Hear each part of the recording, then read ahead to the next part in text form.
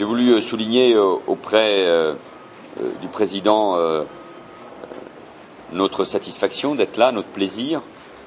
Nous avons des liens d'amitié, des liens économiques, des liens politiques depuis longtemps avec le Burkina Faso. Mais nous avons souligné combien l'élection du nouveau président euh, avait été euh, un exemple pour euh, l'Afrique de l'Ouest et pour l'Afrique, c'est-à-dire une élection préparée par une transition démocratique, par une transition démocratique et par des élections libres qui n'ont pas donné lieu à contestation. L'élection du président Kaboré a été incontestable. Elle a permis l'installation aussi d'une Assemblée nationale euh, élue, dont euh, la première session va avoir lieu dans euh, quelques jours. François Loncle, député, président du groupe d'amitié France-Burkina, sera là pour représenter le président de l'Assemblée nationale française, Claude Barthelone.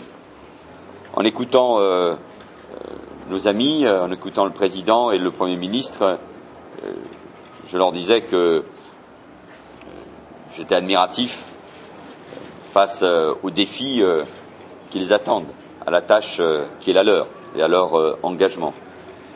Les défis du Burkina sont majeurs. Il y a bien sûr le développement économique. Beaucoup de retard a, été pris ces derniers temps. et donc il faut reprendre cette priorité qui est celle de mon homologue. le développement économique, l'agriculture, les grands problèmes d'éducation, euh, de santé, d'eau, d'assainissement. C'est toutes ces questions, bien sûr, qui euh, attendent euh, le gouvernement de ce pays. Avec malheureusement un préalable, la sécurité.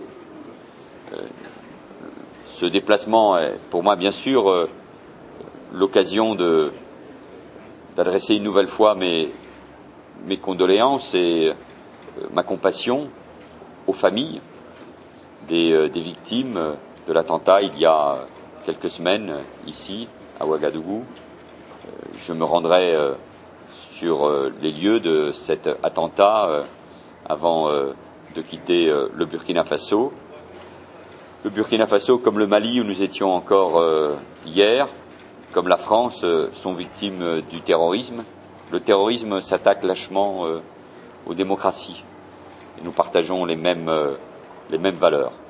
C'est pour cela que nous devons renforcer notre coopération en matière de, renseignement, de formation euh, des forces de sécurité des forces armées, euh, sécurité et coopération que nous devons euh, renforcer dans le cadre du G5, dans le cadre de l'engagement de la MINUSMA, avec le soutien de l'Union européenne.